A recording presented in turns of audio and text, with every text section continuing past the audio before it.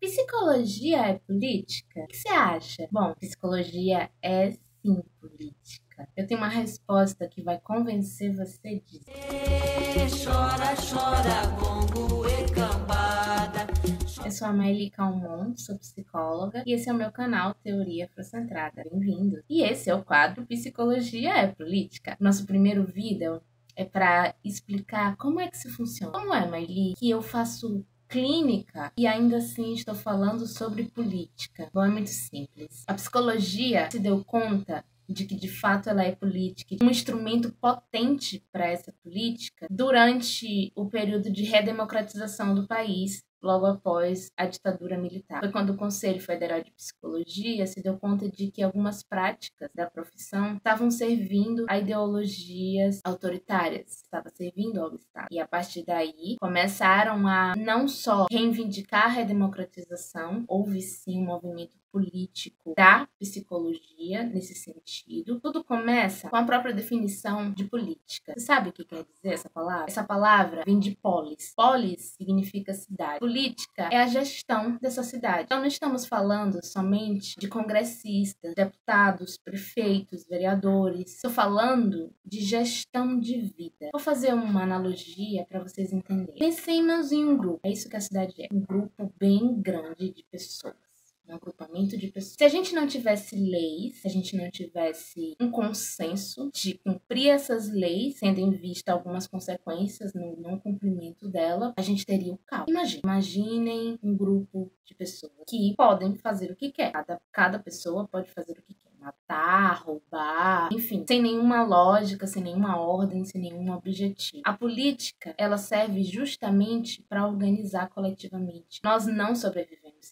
É por isso que tudo o que fazemos é política. O corpo é político. Porque política nada mais é do que a concordância do grupo em cumprir determinadas regras. Então, se a gente tem uma política conservadora, ela reflete muito do pensamento da sociedade. Se a política ela é mais progressista, é porque as pessoas elas estão com um pensamento um pouco mais avançado a determinadas coisas. E como é que a gente tem um controle sobre isso? Os meios de comunicação servem à política. Então, quando eu digo que tudo é política, é tudo mesmo. Porque quando a gente vê uma notícia no jornal, obviamente a redação daquele jornal ela tem uma ideologia que defende, ela tem uma forma de pensar que ela defende. E ela vai influenciar outras pessoas a pensarem da mesma forma. Quando o ser humano aprendeu a viver em grupo, coletivamente, para sobreviver, que assim facilitava a sobrevivência, né? E assim o processo de seleção natural foi acontecendo, ele entendeu que precisava de regras para organizar esses grupos. Então, quando você diz, ah, eu não gosto de política,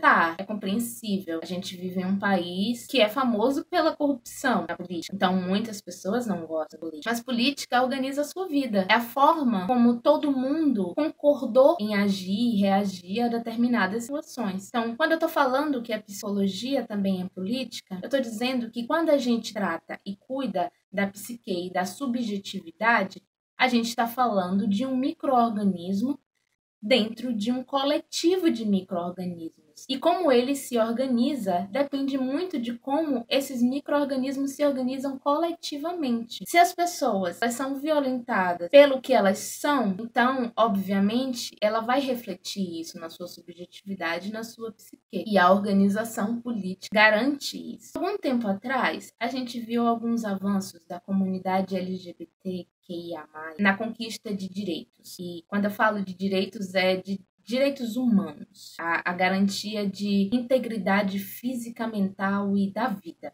desse sujeito. Com a eleição de 2019 de um partido muito mais conservador, ou seja, que se adequa ao modo de pensar de uma sociedade que quer conservar os papéis sociais que a gente cumpre, a gente observou-se que esse grupo LGBT mais tem sido muito mais violentado e assassinado. Bom, por quê? Porque a representação que elegemos, e quando eu digo elegemos enquanto sociedade, ela vai garantir os direitos daquela daquele grupo, daquele determinado grupo. Se esse posicionamento de, desse grupo eleito é de violência, é de manutenção de determinadas mentes conservadoras, como por exemplo, só existe homem e mulher e apenas isso, e só eles têm direito de ter direito à vida, consequentemente, essas pessoas vão ser muito mais violentadas na sociedade. A gente vê que política ela é muito mas muito complexo, porque ela organiza a nossa vida. Então não adianta você falar que não gosta de político, que não tá nem aí, ou que não quer saber. Porque política é tudo. Tudo que a gente faz. A forma como a gente decide é a nossa ideologia. E a psicologia, ela é política justamente porque ela trata da subjetividade da psique. E não existe subjetividade sem política. Ou seja, não existe indivíduos sozinhos, isolados no mundo. Ele sempre existe em coletivo, ele sempre existe em grupos. E sendo assim, ele sempre vai ser político. Então é isso, gente. Obrigada pela atenção de todo mundo. Se você gostou desse vídeo, curta e compartilhe. E se inscreve no canal para receber as novas notificações dos próximos vídeos que me tocar por aqui, tá? E é isso, nosso encontro é todas as sextas hoje. Um beijo.